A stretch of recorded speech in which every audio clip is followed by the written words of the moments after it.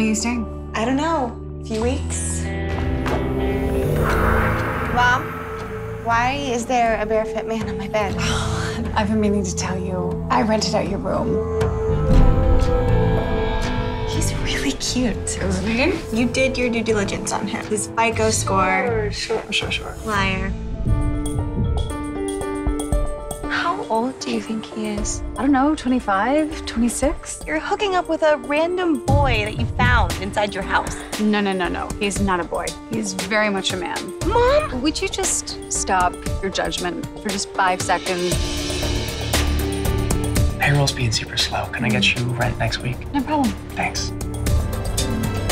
I was hoping you could do a background check on someone for me. My mom has this boarder. I don't trust him. What are you doing here so early? I spilled something on my tie. You drove all the way home for a new tie. Really should mind your own business. Or what?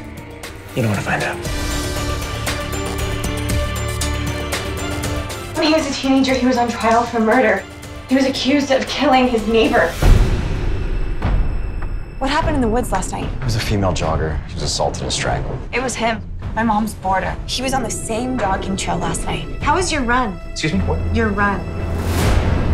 Kristen, please do not get involved. I am involved. I'm living under the same roof as some psycho who's sleeping with my mom. You know nothing about him. What, that automatically makes him a murderer? I found blood on one of his sneakers. This is a tinderbox, and right now you're a lit match. Did you kill that girl? Listen to me, Mom. This man is dangerous, and you should not be alone with him. Mom! Oh, Kristen! Mom, where are you? What did you do to her?